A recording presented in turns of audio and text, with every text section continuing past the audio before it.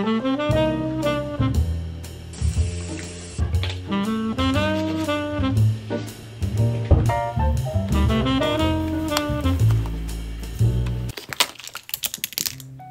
everyone, welcome to this part of my room, my bare face. So today I wanted to sit down with you, chat a little, and walk you through the process of how I try to look like myself, like the way that I feel on the inside, projected outside uh, because this baby face it's not how I feel. So I've already moisturized my face and I'm gonna go in with some foundation. I have been doing my skincare routine very consistently lately, so my skin has been looking pretty sexy if I do say so myself. But I do have some like redness right here and kind of rosacea. You can't really see on camera, but it's there, don't worry. And then I'm just gonna blend it all together with this abnormally large beauty blender. It's not a beauty blender, it's $6, but dab dab dab. So i just wanted to do a kind of general life update. I'm currently recovering from a breast augmentation a boob job.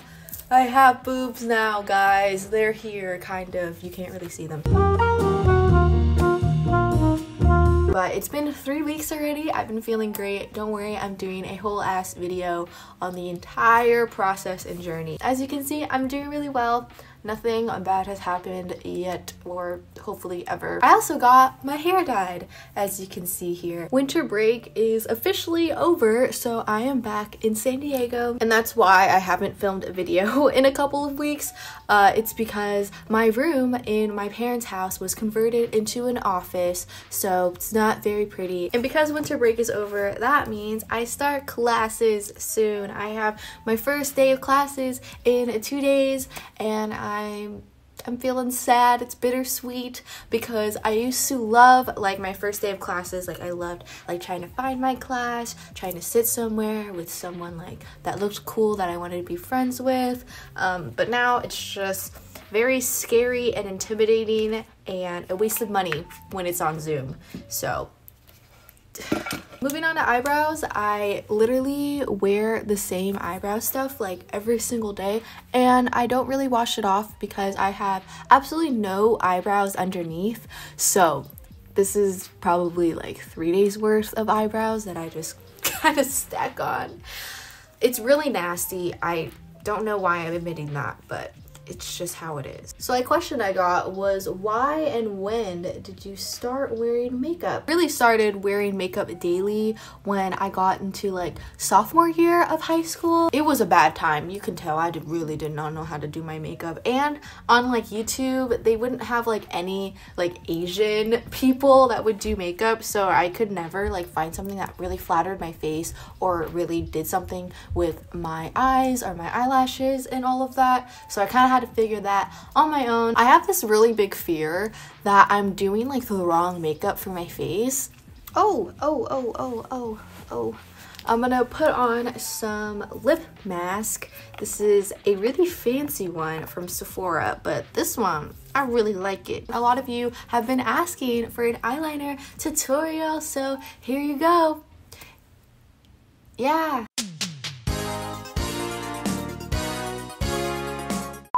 All right, first step is to take a felt tip pen liner. Uh, I like using this first because I can really get close to like the nib there, kind of like a pencil. Ooh, this is gonna be tricky to film, okay? So for me, and my eye shape, I like to kind of follow the line from my under like waterline right here. So I don't like to go too far up or too far down. I kind of just like, uh.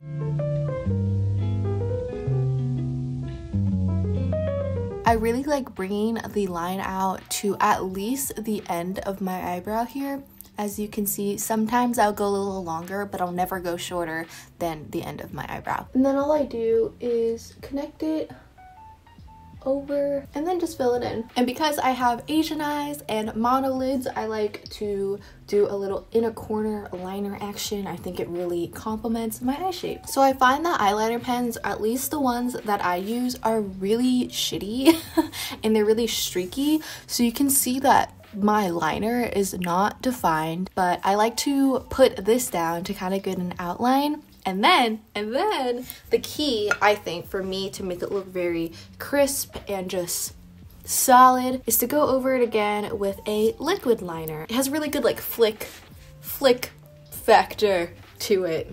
I don't know. So when using liquid liner, you definitely want to start at like the thickest part. So I'm gonna start right here on my eye and then flick it upwards so it gets really thin up there because I don't want it to look boxy. I want it to look sharp. And then I'm just gonna fill in, hmm, okay. See how already it's so much more dark and dramatic?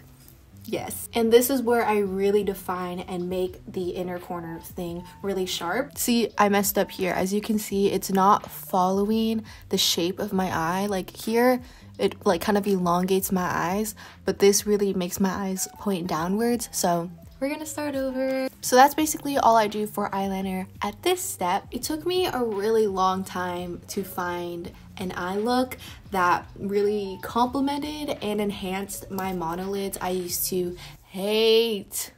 And when I say hate, I mean hate my monolids because I don't know, I hated being Asian and my monolids made me look more Asian. I was really set on getting like double eyelid surgery and I am just so happy that I didn't do because my monolids are my favorite feature of my existence now because I think so beautiful and interesting. So, yeah, it took me 20 years to try to find a, you know, look that I felt pretty and cool And So, if you have monolids too, you should try this out. I guess on the topic of Asian things, uh, I wanted to talk about anime and K dramas. I am watching Haikyuu for the third time in a couple of months. It is such a feel good anime, and the boys are my babies and they will be forever. I recently finished Crash Landing on You, which is a K drama. Very, very beautiful cast, but just that's not new for any K dramas, but wow. I'm thinking of starting Startup. Hopefully, I like it. I've heard some good things about it, but I think I'm just catching up on Asian things like anime, like K drama, because I'm finally like don't hate being Asian. I went to school in the white suburbs. I was made fun of constantly for being Asian and I just didn't want to be like those other Asian girls. My, you know, eyeliner, I think it really accentuates and elongates my eyes. And before this, I would do anything I could to really round out my eyes to make it look like I had a double eyelid crease development. Move on to lashes. I'm trying to take off the last bits of like dried lash glue from yesterday so don't mind me. I actually used two lashes stacked on top of each other. I just started doing this like a month ago. I wanted a more dramatic look to kind of complement my pretty dramatic liner there is a very high level of skill to try to put the exact amount of lash glue when you're using like the squeezy ones like this.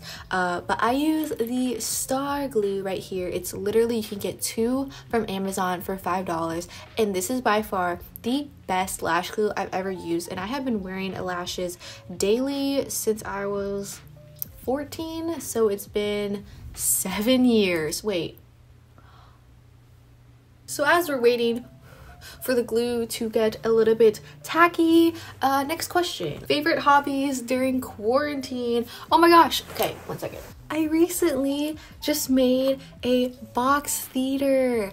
I got this from Amazon for $10 and it took me four days. Oh, oh, it lights up. I've also picked up journaling. I love taking photos on film, so when I have them developed, I don't really know what else to do with those photos. My caterpillars are on. Okay, so something that I really like about my new eyeliner look is that everything kind of goes in like one continuous line, like there's no gaps where you can see like my eye skin. I don't know. I don't know what else to call it. So I like to close the first gap right here from my inner corner to my lash. And then I just take a pretty chunky kohl liner like this and go ham on my like lower water. I think that's called a waterline.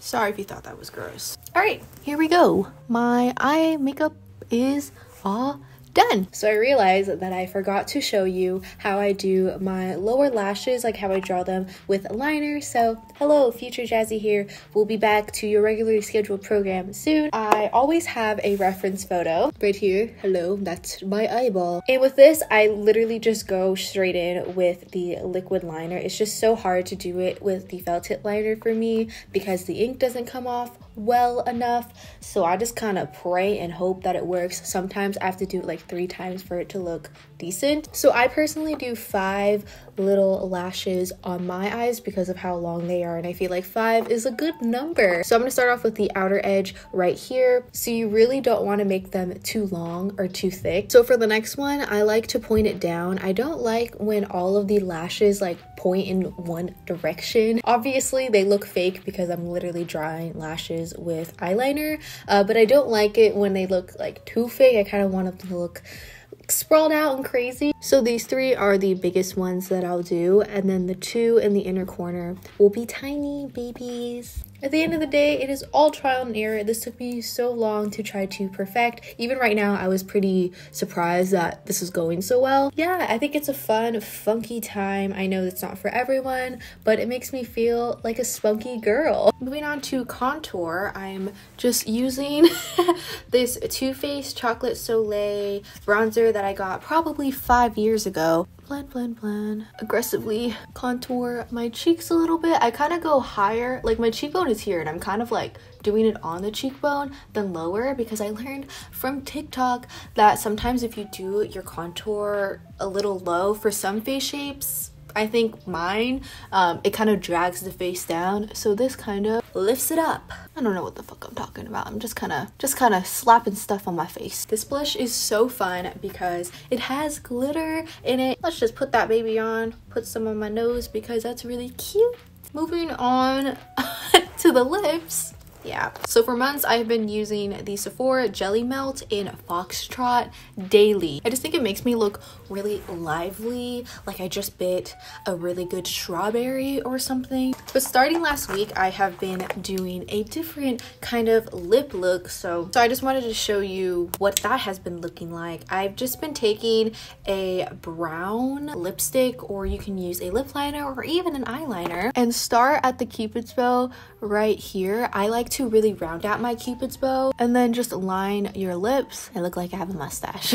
and the way that I have made this not look super weird on me, I think, at least I don't think it looks super weird on me, is that I will take some, blend it inwards like this blend. And then I take the Essence Shine Shine Shine lip gloss. It's $3, the most glossy gloss you had ever seen in your life. It's giving me very 2000s, 90s vibes. I'm loving it though. It's definitely very new and kind of interesting. So I totally understand if you don't really like this lip look. I'm still feeling a little bit iffy about it, but I used to hate my lips too. They're very, very large. Um, I was called fish lips most of my life. Um, so I never really wore lip gloss or anything shiny or round in my cupid's bow because it made my lips look bigger. But now I'm like, fuck it. I look like a cool Bratz doll and um, I'm gonna embrace it. And with that, my makeup is done. Ooh, makeup, yeah. I'm now going to move on to some hairstyles that I've been doing recently. So I first saw this hairstyle on TikTok because that's where I find all of all of everything. Yeah, it's it's kind of embarrassing. A little bit of hair, a little bit of my blonde hair like this and just kind of make a little pigtail Also, you can definitely tell that I did not get my bangs professionally cut. it was so embarrassing when I was getting like my hair dyed, my hairstylist, because I it was just a new one, and he was like, who cut your bangs? And I was like, I don't know what you're talking about. and then I just take some clear elastics, go like, I don't know, like an inch, inch and a half. I don't know measurements, tie it off, and then floof it up and then you have a little bubble. Do you see that? She's so cute. Ow. And then you just keep repeating that using an absurd amount of elastics. I like to leave like a little tail. I don't know. I think it's kind of cute.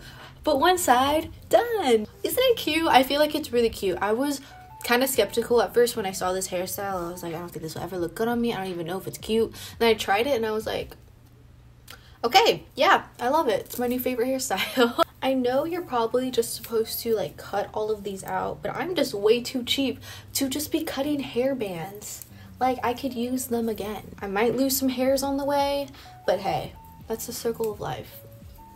No, it's not. Okay, let's move on to the next one. So this one's really, really basic, but I have been getting questions on how I do this hairstyle. So all you need is a claw clip and then you want to take your hair, this like kind of like in a low ponytail and then twist it up, do like a half of a half, so like a fourth, and then push it up like this. And then just take a clippy hope that it stays. But this reminds me of when I was younger. My mom worked full time, my dad stayed at home, and he didn't really know how to do our hair. He didn't really know how to do a ponytail.